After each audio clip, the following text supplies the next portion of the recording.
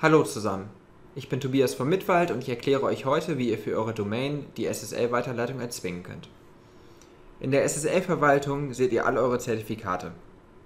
Ihr könnt nun auf das gewünschte Zertifikat raufklicken und seht dort den Button HTTPS erzwingen. Wir bekommen nun eine Liste der Domains, für die wir die Weiterleitung erzwingen und bekommen hier auch noch einen Warnhinweis, den wir bestätigen müssen.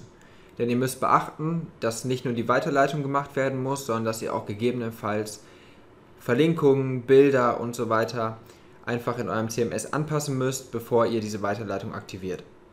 Habt ihr das gemacht, könnt ihr dementsprechend den Hinweis akzeptieren und hier auf Weiterleitung einrichten klicken. Ihr bekommt dann hier oben den Hinweis, dass ihr erfolgreich auf HTTPS weitergeleitet wurdet.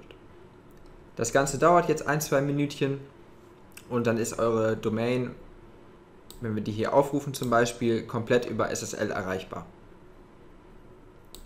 Wir können das Ganze auch über die Domainverwaltung machen, indem wir hier auf Bearbeiten gehen, erst natürlich unsere Domain anhaken, dann auf Bearbeiten gehen und dann können wir auch hier die HTTPS-Weiterleitung erzwingen bzw. auch wieder deaktivieren. Mit einem Klick auf die Infobox und auf Speichern könnten wir das Ganze wieder deaktivieren. Das Ganze ist jedoch auch über die SSL-Verwaltung problemlos möglich.